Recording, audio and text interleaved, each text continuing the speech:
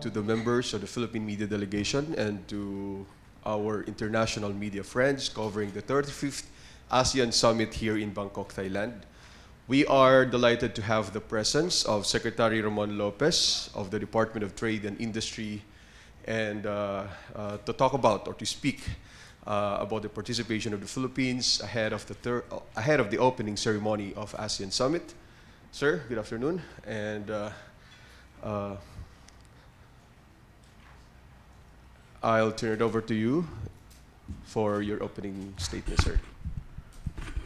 Good afternoon, everyone. Uh, we're happy to be here uh, uh, to participate uh, in the uh, in the ASEAN Summit. Our president, Rodrigo Roa Duterte, arrived last, last night, and that the Philippines will fully participate in all the summits, all the sessions of the leaders in this ASEAN uh, in this round of ASEAN meetings. Uh, on my part, uh, being the Trade and Industry Secretary, uh, we were here since uh, yesterday and we had uh, long meetings. All the trade ministers were finalizing the RCEP, as you know very well. Everyone is working hard, including the negotiators, the ministers, so that we can present a, you know, a very positive news to the leaders when they meet on November 4. Uh, and that will be the, I think, one of the uh, summits, uh, related summits towards the end of the session of ASEAN. Uh, so that will be on November 4. Okay. Um, now we will move to the question and answer uh, session or portion. Uh, please, uh, okay. Denny Chen of Agence France Press. Hi, sir. I'm with AFP. I was wondering um, if you could tell us how U.S. protectionism is affecting Southeast Asian economies. Uh, Malaysian Mahathir just sort of railed about it during his speech at the ABIS. Thank you, sir. Oh, okay. Unfortunately, I was not able to hear the message of uh, the Prime Minister. Um, but obviously, the, the US China trade war has presented uncertainties in the world, the trade environment, including the investment environment, and it has uh, somehow led to uh, some slowdown. Even in the world economic projection, it has impacted uh, the global output projection uh, down to around 3%. Uh, certainly, this would have impact on the performance of many, if not most countries, because uh, we all are part of the supply chain, the global supply chain, and a slowdown in one economy can really affect the orders, uh, you know, from another economy, from another country. Uh, as far as uh, Philippines is concerned, uh, we are also affected, but uh, unfortunately, well, fortunately, in some indicators, uh, even for uh, our exports, even in some countries like U.S. and China, we've been posting uh, still positive growth uh, in the past uh, quarters. And uh, I guess we're, we're just fortunate that these markets are, like for China, are relatively new or non-traditional for us in terms of exports, and they have just really opened up since 2016 and have just continued to uh, uh, purchase uh, more Philippine products, given the, the, the I guess the good relationship between our two presidents, uh, President Duterte and President Xi Jinping. Um, we, the Philippines, maintain uh, a healthy and uh, good relationship with all countries. We, we are a developing country. We have to be a friend uh, to all the countries. Uh, in the same way that even in the U.S., we continue to uh, uh, exports on, on a positive, with a positive growth rate. Uh, and that is considering also that uh, the U.S. accord uh, GSP trade privilege to the Philippines. So, yes, it will. It can, but total, of course, uh, exports of like our semiconductors, which is part of the global supply chain, uh, was affected. I mean, there, there, there is a slowdown in some sectors, but growth in, in, in some sectors. Okay. Uh, Tan Yui, The Straits Times.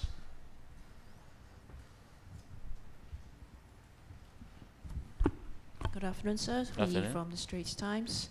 I have two questions. Um, how soon do you think this U.S.-China trade war could be resolved? And the second question I have is about RCEP. Uh, uh, do you think that we would see a conclusion by Monday? And there's been some discussion that maybe RCEP could just go ahead with the countries that are willing to sign on the dotted line now. In other words, uh, leave India out of the equation. What are your thoughts? Okay. Um, I'll go to the RCEP first. So, so we had uh, long meetings, uh, mostly in executive session uh, among trade ministers, so that we can tackle the remaining uh, pending issues uh, in the many chapters of RCEP.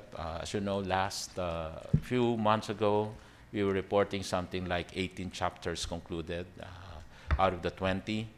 And when we talk of chapters, these are mostly chapters or areas of uh, cooperation that will govern cooperation among the different RCEP participating countries, as well as rules. So on the rules, and and uh, I think what we can say is that we can report a very positive development. There's really uh, substantial progress. Uh, shall we say near conclusion or preliminary conclusion, so that uh, we can have a, a, a very positive report uh, come Monday.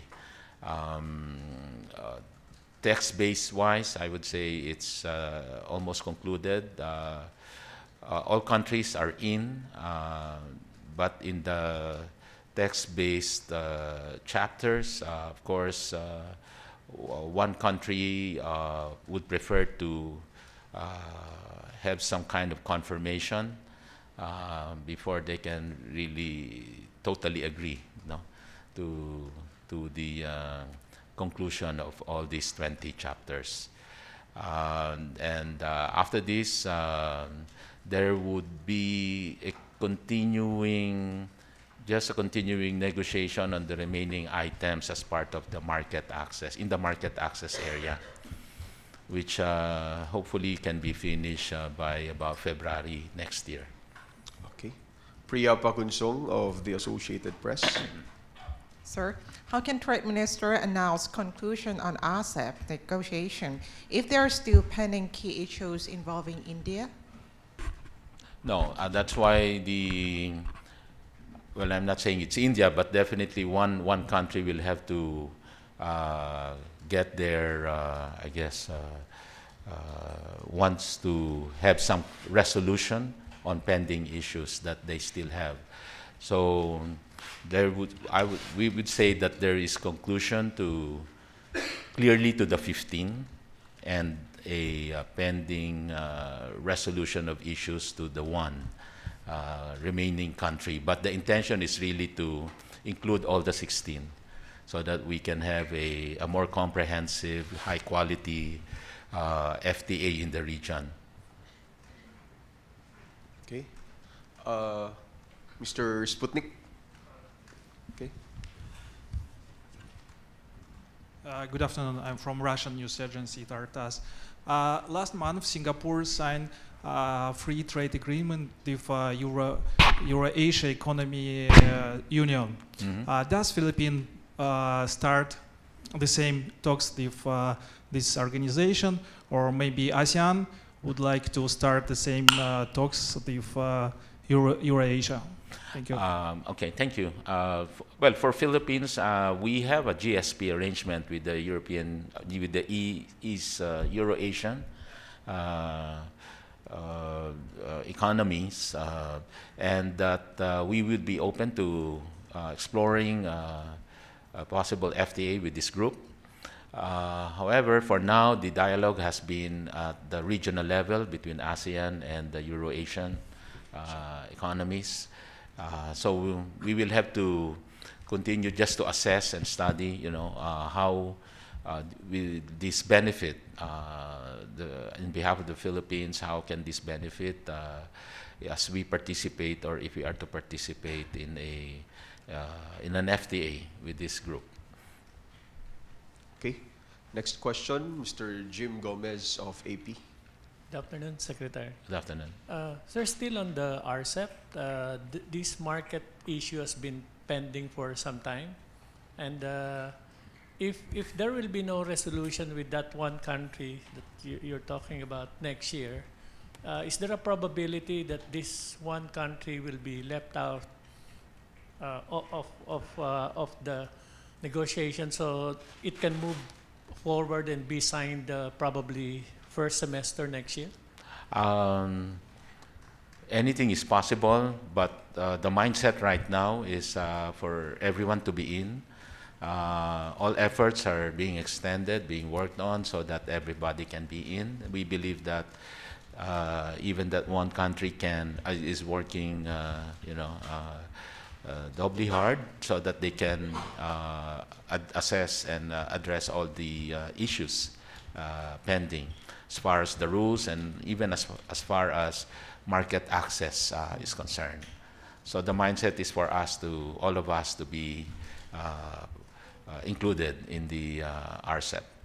Secretary, is still is, is it still a, substantial uh, like di- differences over market issue approaches, or is just a matter of this one country reporting to their publics and and their sectors, and then then go on with Yeah, I would say the second, uh, really more of uh, consultation and getting uh, confirmation on certain matters. Uh, it's still a work on work in progress with, when it comes to like items, products, or services uh, in the market access area. Um, uh, but generally speaking, if we talk of the rules, more or less it's laid out and uh, it's the, the- any pending resolution or issue that they have would just have to be resolved from their end. Okay. Philip of uh, Bloomberg. Hi, how you doing? Hello.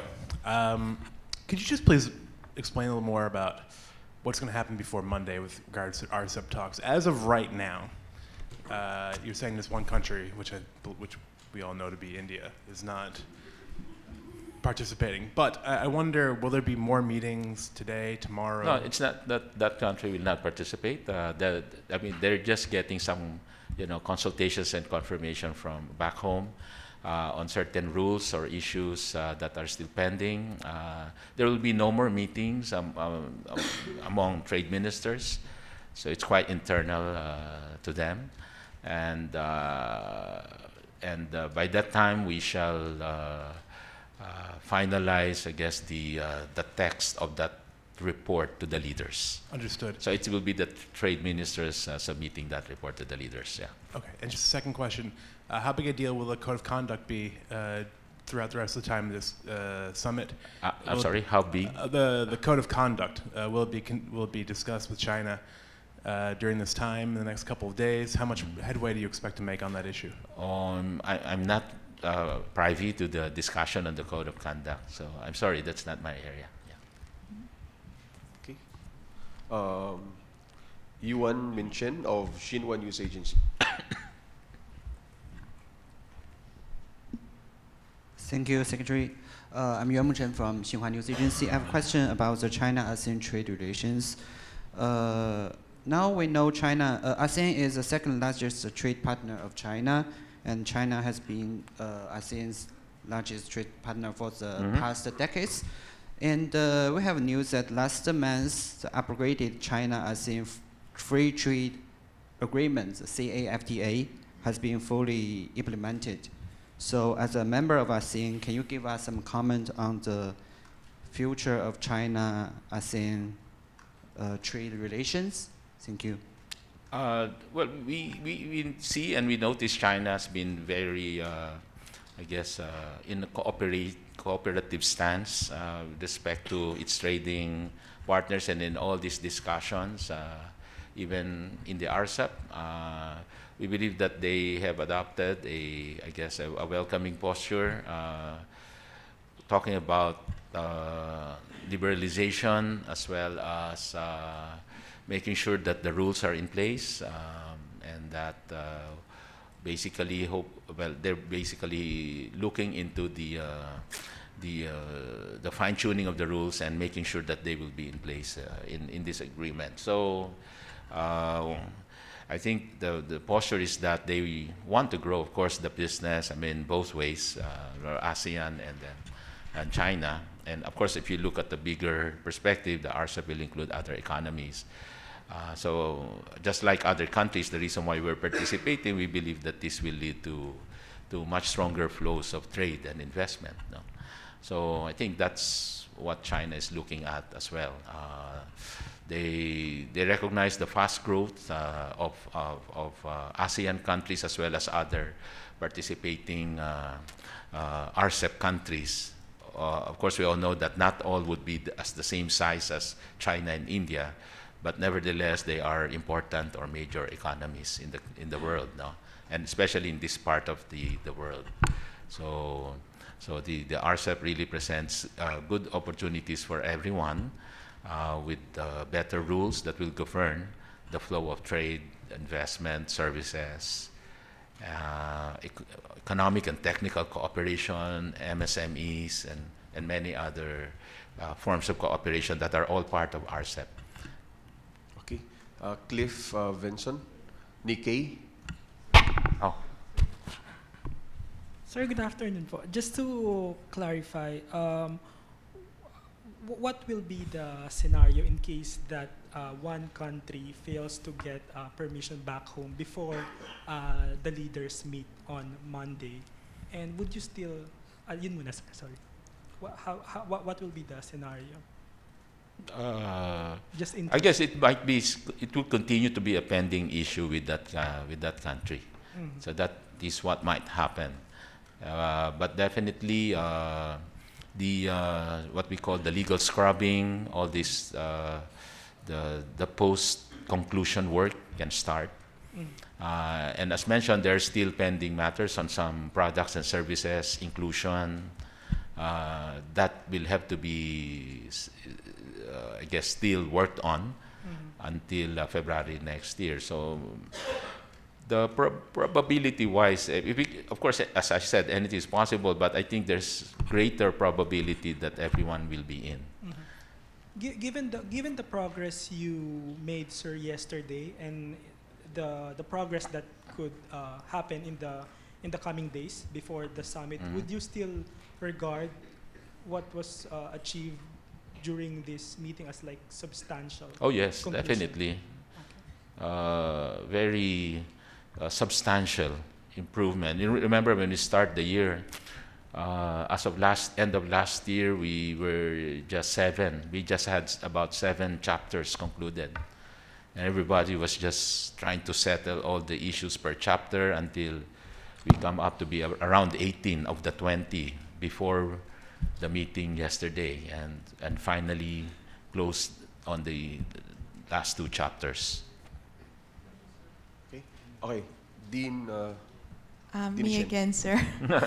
um, if if India is not included in RCEP, is there any worry that uh, there would be no giant counterbalance to China, another superpower? No, there's no worry on that one. Uh, because if you will think about it, ASEAN already has uh, an FTA with China. Actually, ASEAN has an FTA with each of these countries.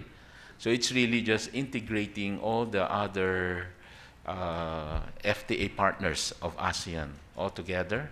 And of course, uh, leveling up the, uh, the uh, cooperation, leveling up the, the levels of liberalization, for example, the products included, services included. Uh, it has to be better than the current ASEAN uh, plus one FTAs. So as it is, we're already operating and, and working with, with China as in the same way that we are working with New Zealand, with Australia, with Korea, etc. okay. I meant more in terms of political influence in the region. No, no, no, no. It's purely, I guess this is really purely about trade, uh, commerce, and, and investments, no? investment flows uh, from one country to the other.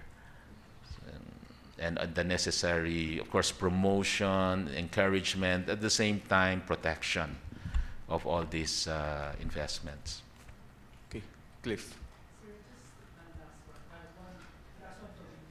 you uh, sense any like um, because Ch- China is having uh, trade tensions with the with the U.S. Uh, I'm just curious if uh, did you sense uh, greater passion from China this year during this round of negotiations to finally conclude, push it harder to for the for RCEP to be uh, concluded Um, this year? uh, that's an interesting adjective. Greater passion.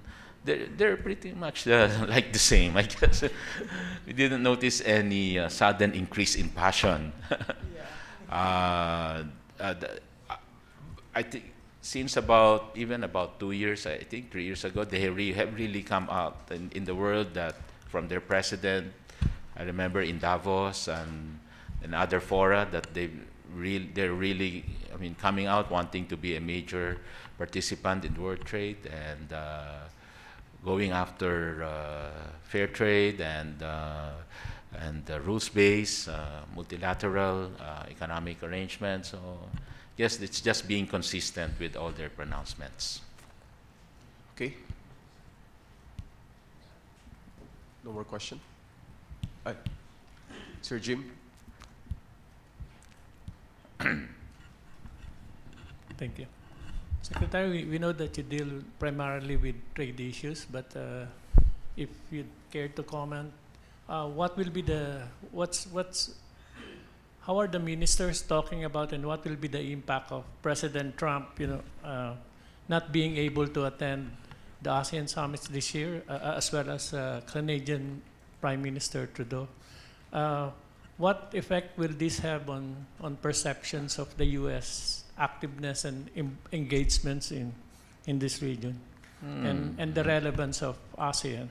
Uh, you know, frankly, we haven't, we, we did not discuss that. I mean, I guess there, it was not given uh, that, uh, I mean, that issue, uh, or if you can call that as an issue, was not given much importance.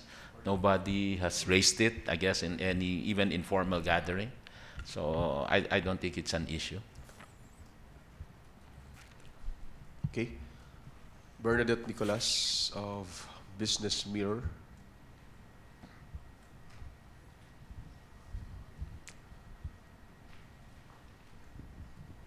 Good afternoon, Secretary. Good afternoon. Um, may we know if there's already a specific schedule for tariff reduction po under RCEP, sir, during the negotiations, sir? Yes, uh, in all in the negotiation, as you include the product, uh, there has uh, to be that prescribed uh, reduction and how many years, and it will be down to zero on a certain year, and there has to be that schedule of reduction. Okay.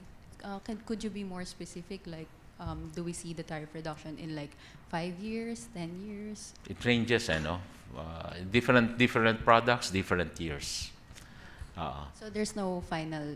Uh, No, it's final. It's on uh, treated per product kasi. So, sa, so it will be in different years uh, or with different uh, uh, degree and uh, speed of, of liberalization.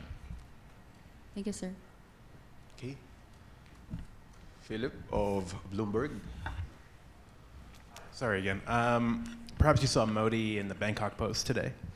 Uh, made a bit of comment on RCEP needing to be more ambitious in terms of services. And so, you know, I kind of wonder your take on that. What are the disparities between the uh, between India and the rest of the uh, RCEP groups on that particular issue?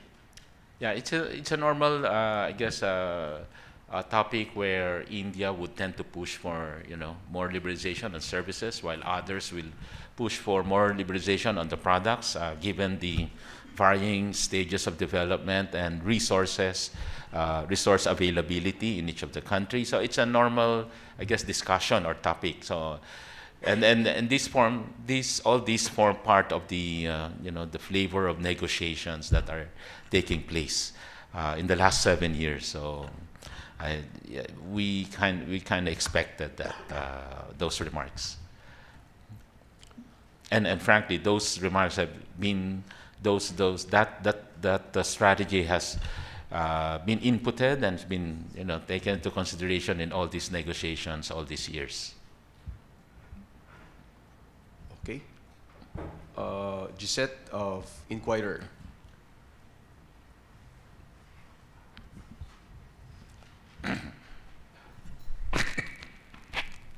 Uh, sir, good afternoon. Sir, for the understanding of the general public and for our kababayans back home, what exactly would be the impact of the RCEP for our um, local economy, and will, they, will there be particular safeguards to ensure that our local manufacturers wouldn't bear like a negative brunt um, once this trade pact is signed? Yeah. So um, yes, uh, we'd really like to discuss more of that. As in all participating uh, countries, obviously all of us would like to see this as beneficial. Otherwise, we won't get into this. No. So everyone would uh, be uh, uh, offering products that they believe they can export and sell to other markets, and therefore the liberalization, uh, getting uh, uh, more market access in the different participating countries would be important. So they, we all want to make sure that many of these products are included in the negotiations. Uh, and if you really think about that, then those, these are the, the things that can really benefit our exporters. So as to the benefit, yes, it can open up many uh, or greater market access for the products that we have listed. And that uh, even for services, the same thing. More, more of our services, uh, name it, engineering, uh, medical services, health-related services, uh, construction, transportation, uh, all these things can, can mean uh, and can lead to greater market access in the different countries. In the same way that other countries would like to have their products also enter, so enter our country. So it's really working on a much more uh, free environment, trade environment, with a degree of fairness, and that this is where the safeguards and and the necessary protection. There are still products excluded, especially if you talk of sensitive products, and these would normally be uh, the agriculture sector, as we many countries would normally be protecting their the farmers, the farming sector. So, but but for products that are not sensitive, in other words, they're not excluded from the list. Uh, all this would uh, would be open, and uh, with of course with different schedules of of uh, tariff reduction, so that more and more uh, access are gained every year. So it will can lead to greater exports across great, greater manufacturing activities uh, in the respective countries, employment, uh, jobs, and income, higher income. So, and of course, uh, part of this arrangement, encouraging investments, ensuring also that the investments are protected. Uh, this, this, these items form part of the rules. Uh, at the same time, you're talking of market access. So all of this can encourage investments and and uh, greater economic activities in, in all the countries. So uh, I can just there, there are these many products that eventually we will issue out as we finalize the market access negotiations, uh, and and then uh, each country would, I'm sure, be sharing uh, products that where they gain more market access. Secretary, just uh, another topic, if you don't mind. Um, I was just wondering if in the uh, meetings that we've had so far, um, I'm not sure if you're privy to some discussions, but is the African swine fever a topic among some of the ministers? Um, in the trade in this recent meeting no Yes. it wasn't discussed uh, uh, not discussed at all uh, I guess everyone is just aware that there is that problem but it is really a technical problem wherein ASF affected countries obviously cannot uh, sell to the other countries or other countries would be blocking you know the importation of these uh, ASF uh, affected uh, or products from ASF affected countries so but it wasn't discussed at all in the gatherings formal or informal Okay. Joanna of Asahi Shimbun. Good afternoon, sir. How Afternoon. long can the region wait before, well, how long can the region wait for India to accomplish its local consultations? I didn't say India. Uh, how long can we wait, how, how long can the region wait for this one particular country to finish consultations with its uh, local markets and sectors? Will there be any negative impact if we delay the implementation of RCEP for too long? And uh, as mentioned earlier, uh, we hope to finish everything, including market access negotiation, by February. What we're saying is that the rules are uh, concluded for the 15, and uh, as to the uh, verification or confirmation of uh, acceptance from that one country. Uh, we expect that to be happening soon, hopefully before the Monday meeting. Okay. Otherwise, uh, the text of the report can be changed. Bernadette Nicolas. But when I say it can be Changed I'm not saying, what? yeah, so I, I know you'll ask. So it, it will be changed, but not to the point that, you know, we will exclude that one. So it will, we will just have to, uh, uh, I guess, uh, consider whatever change that would be. You know? Uh, but again, I, I'm coming from the mindset, we are all coming from the mindset that everyone will be part of uh, this agreement. Thank you, Jonah. Bernadette Nicolas, Business Mirror.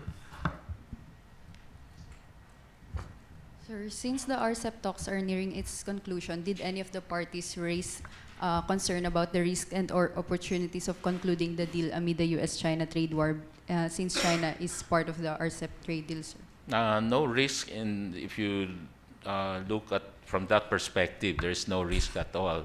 What uh, is happening is that in this part of the world, there is this uh, mega trade deal uh, that's being finalized. Uh, and that, of course, no matter what happens to the China-US trade war, this definitely would be a, a, a bright spot you know, in the world, in this world environment. Amidst uncertainties, the more we can, and we should be projecting a much stronger regional uh, trade and investment uh, arrangements no, in this, this part of the world. So, but of course, we all hope that the U.S.-China trade war can subside and can be settled and and that, uh, of course, that would mean uh, that is for the good of everyone.